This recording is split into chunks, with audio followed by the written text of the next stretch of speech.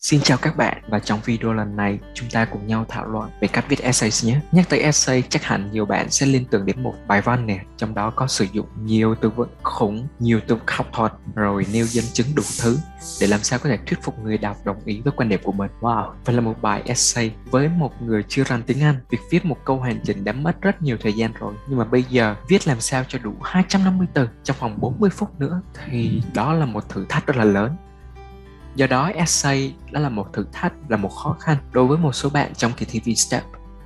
Tuy nhiên trong video lần này thì Bảo sẽ hướng dẫn các bạn cách viết một essay vừa đơn giản vừa tiết kiệm được nhiều thời gian để các bạn có thể đạt được điểm cao nhất trong phần thi viết essay của bài thi VSTEP nhé. Bây giờ chúng ta bắt đầu thôi. Đối với writing essay thì à, phần đầu tiên của writing đó là email mà mình đã học rồi. Email thì mình viết trong vòng 20 phút, một email thôi. Và phần thứ hai của writing đó là essay Vậy essay thì mình cũng viết có một bài, thời gian viết là 40 phút và bài luận của mình phải ít nhất là 250 từ. Thì con số lý tưởng chắc là 300 từ đấy. Essay nó chia làm hai loại. Một là loại opinion, nghĩa là đưa ra ý kiến của mình. Loại thứ hai là discussion, thảo luận.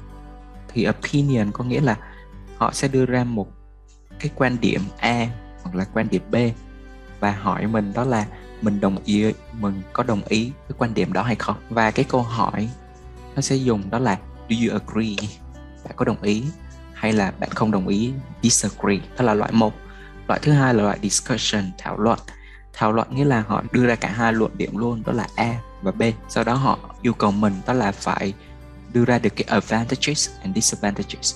Lợi ích là cái bất lợi của cái vấn đề đó. Hoặc là trong câu hỏi có xuất hiện cái từ discussion, hoặc là discuss, hay là pros and cons. Pros and cons cũng là lợi ích này bất lợi này benefits and drawbacks, cũng nghĩa vậy luôn. Thì đây là ba từ đồng nghĩa. Advantages, disadvantages, pros, cons, benefits, drawbacks. Nhưng mà đối với hai loại này thì à, các bạn có thể áp dụng một cái công thức thôi. Cho cả hai loại đề luôn. Rồi để làm bài này thì mình có một số cái lưu ý. Một là mình sẽ đọc cái đề. Mình đọc đề để mình xác định xem cái topic hay là cái chủ đề và cái loại essay mà mình phải viết. Loại essay đó là loại opinion hay là loại discussion. Sau khi xác định được cái chủ đề ví dụ nó chỉ là một cái phần nhỏ trong cái chủ đề health chẳng hạn thì mình nhớ lại tất cả các từ vựng liên quan đến chủ đề health và mình sẽ liệt kê ra tất cả các từ vựng liên quan đến nó. Giờ chúng ta sẽ nhìn vào một cái đề thi thật để các bạn có thể biết cách làm sao xác định cái loại essays đó là gì. À, bây giờ các bạn sẽ xem một cái đề như thế này nhé. You should spend about 40 minutes on this task. Write about the following topic. In order to solve traffic problems, the Vietnamese government should tax private car owners heavily and use the money to improve public transportation. What are the advantages and disadvantages of such a solution? You should write at least 250 words. Rồi sau khi đọc lướt cái bài này, chúng ta nhận thấy trong bài này có đề cập tới hai cụm từ đó là advantages and disadvantages họ yêu cầu chúng ta thảo luận về mặt tốt và mặt bất lợi của một cái giải pháp này. Vậy thì dạng bài này đó là discussion. Bây giờ chúng ta sẽ xem một cái dạng đề thứ hai. Some people argue that we have to think twice before deciding to eat fast food because of some health problems it may cause, while others believe that? This kind of food is a good choice for those with a very busy life. Which opinion do you agree with? Sau khi đọc xong đề chúng ta thấy trong câu hỏi này có đề cập tới agree. Bạn có đồng ý, bạn đồng ý với quan điểm này. Vậy dạng đề của essay đó là opinion, đưa ra ý kiến của mình. Nói lý thuyết nhiều quá thì các bạn sẽ không thể nào hình dung ra được. Bây giờ mình sẽ làm thực tế cho một cái đề thi thật để các bạn biết các bước mình cần làm như thế nào để tiết kiệm thời gian. Và trên màn hình là một cái đề thi thật. Bước đầu tiên khi các bạn nhận được cái đề này, mình sẽ làm một mình phải xác định được cái topic và cái essay type chủ đề và loại essay rồi bây giờ mình sẽ đọc lướt cái đề ha Nowadays, many people have access to computers on a wide basis, and a large number of children play computer games. What are the positive and negative impacts on playing computer games? And what can be done to minimize the bad effects? Ngày nay nhiều người tiếp cận máy tính khá là thường xuyên. Và một lượng lớn trẻ em chơi trò chơi điện tử. Vậy đâu là uh, ảnh hưởng tích cực và tiêu cực của việc chơi điện tử? Và chúng ta có thể làm gì để giảm thiểu mặt xấu của cái vấn đề này? Vậy thì đầu tiên chủ đề đó là playing computer games và loại essays. Các bạn thấy ở đây người ta đề cập tới positive và negative. Vậy essay của mình đó là discussion. Tuy nhiên họ yêu cầu mình thêm một phần nữa minimize the bad effects các bạn phải đưa ra một số giải pháp để giảm thiểu cái mặt bất lợi của việc chơi điện tử. Rồi sau khi xác định được bước 1 bây giờ mình sẽ làm gì? Ở bước thứ hai các bạn sẽ phải xây dựng từ vựng. Xây dựng từ vựng dựa trên yêu cầu của đề bài. Chủ đề của mình là computer games. Hay mình có thể nêu ra một cái chủ đề to hơn đó là chủ đề về hobbies. Ở phần này xây dựng từ vựng là các bạn không phải là bây giờ mình mới tìm kiếm từ vựng nhưng các bạn sẽ phải gợi nhớ lại những từ vựng mình đã học. À, nếu các bạn chưa xem những cái từ vựng theo chủ đề uh, các bạn cần phải học trong KTV Step thì các bạn có thể xem lại những video về mind map 14 chủ đề từ vựng hay xuất hiện trong các KTV Step mà mình đã làm trước đó. Vậy chủ đề hobbies các bạn sẽ phải nhớ lại những mặt tích cực của cái hobbies positive của nó bao gồm một đó là reduce the stress of everyday life giảm căng thẳng của cuộc sống hàng ngày lợi ích thứ hai develop some skills like logic communication phát triển một số kỹ năng như là tính logic này kỹ năng giải quyết vấn đề kỹ năng giao tiếp.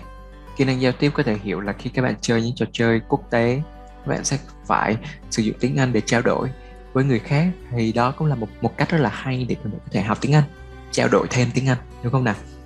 À, lợi ích thứ ba mà trò chơi điện tử có thể mang lại đó là broaden the knowledge. Có nhiều trò chơi được thiết kế theo hướng là học thuật để các bạn có thể vừa ghi nhớ, đào sâu về một cái lĩnh vực nào đó. Và điều này giúp cho bạn làm mở rộng kiến thức. Mặt bất lợi của computer games đó là gì? Các bạn có thể thấy nhiều trò chơi nó chứa rất là nhiều bạo lực trong đó. Contain a lot of violence. Và khi trẻ em tiếp xúc với những trò chơi này thì nó sẽ gia tăng, increase the aggressive thoughts and behaviors gia tăng những suy nghĩ và những cái hành vi bạo lực. Uh, not focus on study perform worse and worse in school. Khi mà trẻ chơi quá nhiều thì trẻ em sẽ không tập trung vào việc học và dẫn đến hậu quả là việc học của họ ngày càng sa sút. Và yêu cầu thứ ba của đề bài các bạn phải nêu ra được giải pháp. Vậy mình có thể nghĩ về một cái số giải pháp. Ví dụ như là limited time for playing games 30 minutes per day. Giới hạn thời gian chơi game có thể là 30 phút một ngày thôi. Giải pháp thứ hai đó là parents control the game the children play. Nghĩa là bố mẹ phải kiểm soát được các trò chơi mà trẻ em chơi uh, để tránh trẻ em tiếp xúc với những trò chơi bạo lực các bạn sẽ ghi ra nhé những cái từ vựng những cái ý tưởng này để mình bắt tay vào việc viết nó sẽ dễ dàng hơn rất là nhiều tiết kiệm cho bạn rất nhiều thời gian.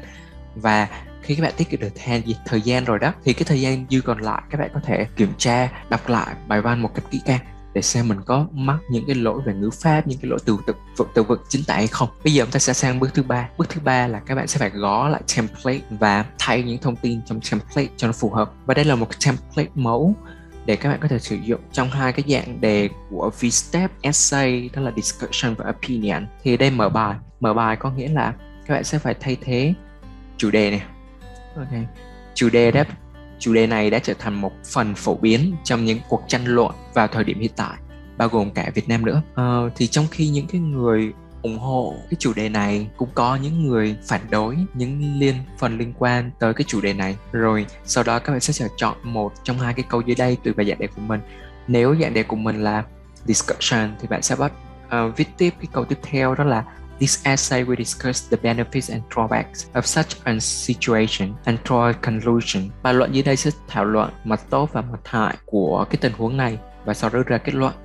Nếu dạng đề của các bạn là đưa ra ý kiến thì các bạn sẽ ghi là personally, I strongly agree that về mặt cá nhân, tôi hoàn toàn à, đồng ý rằng các bạn sẽ đưa ra cái ý tưởng của mình về phần thân bài này comments with, để bắt đầu, thì chủ đề này có rất là nhiều cái mặt lợi ích và cái mặt lợi ích điển hình nhất đó là ở đây thì các bạn sẽ thay bằng một cái lợi ích another coupon with would be that. Cái mặt lợi ích khác là mình sẽ thay vào tiếp tiếp bằng một cái lợi ích thứ hai certainly.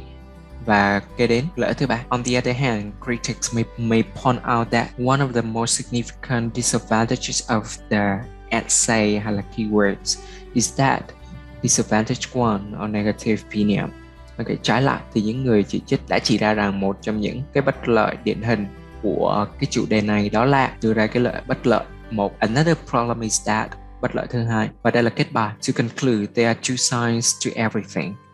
Có hai mặt của mọi vấn đề. And this situation is not an exception. Và cái vấn đề và tình huống này thì không ngoại lệ. The topic has become a crucial part of our life. Và chủ đề này đã trở thành một phần quan trọng trong cuộc sống của chúng ta. Therefore efficient use of topic should be promoted. However its misuse should be condemned. Do đó việc sử dụng hiệu quả của cái chủ đề này thì nên được khuyến khích. Tuy nhiên việc lạm dụng thì nên được cảnh báo. Thì đây là một cái template mẫu. Bây giờ mình sẽ áp dụng vào cái bài đề vừa rồi nhé. À, khi các bạn bắt đầu gõ các bạn sẽ gõ lập tức cho mình. Đó là phần mở bài thay topic bằng playing computer games. Topic thứ hai này thay bằng computer games. Okay sau đó viết tiếp một trong hai câu dưới đây thì đây là dạng discussion cho nên câu tiếp theo của mình sẽ là This essay will discuss the benefits and drawbacks of such a situation and draw a conclusion. Xong phần thân bài, các bạn sẽ bấm Enter, Enter, Enter nhiều lần.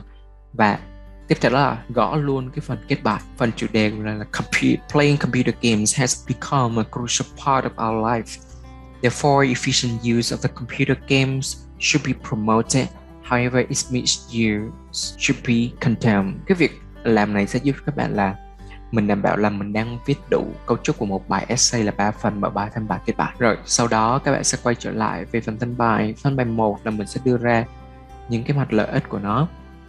Hay ở đây lợi ích đầu tiên là It helps children reduce the stress of everyday life. Lợi thứ hai, children can develop some skills such as problem solving skills and communication skills. Lợi thứ ba, it also helps broaden their knowledge. Thân bài thứ hai nêu ra những mặt bất lợi của nó. They contain a lot of violence, which increases the aggressive thoughts and behaviors among children.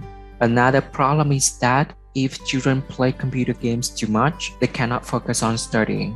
Therefore, they perform worse and worse at school. Rồi thân bài thứ ba nêu ra các giải pháp. There are some solutions to this problem. Firstly, we should limit the time for playing games. For example, we should play only 30 minutes per day. Secondly, parents should control the games children play so that children do not play any violent games. Vậy là chúng ta đã hoàn thành xong một bài essay. Sau khi gõ xong rồi, bước thứ tư là mình sẽ đọc lại và kiểm tra các lỗi nếu có. Vậy là chúng ta đã hoàn thành xong. Vậy tóm gọn lại, format của một bài essay trong kỳ thi Step là viết tối thiểu 250 từ trong vòng 40 phút và điểm số của nó sẽ chiếm 2 phần 3 tổng số điểm của writing.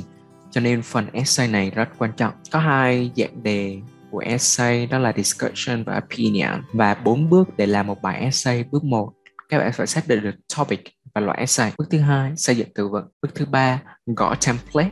Đầu tiên thì các bạn phải gõ phần mở bài, kết bài và thay những thông tin còn lại bước thứ 4 đọc lại và kiểm tra xem mình có mắc các lỗi về ngữ pháp về từ vựng chính tả hay không. Vậy bây giờ các bạn sẽ phải cần phải học thuộc các từ vựng theo chủ đề học thuộc template và luyện tập đánh máy lại template hàng ngày để các bạn gia tăng cái tốc độ gõ máy để mình tập trung suy nghĩ nhiều hơn xây dựng ý tưởng và gợi nhớ lại các từ vựng mình đã học liên quan đến chủ đề đó. Vậy là uh, đã kết thúc video ngày hôm nay. Hy vọng rằng Video này sẽ giúp ích cho các bạn rất là nhiều trong kỳ thi VSTEP, đặc biệt là phần viết essay.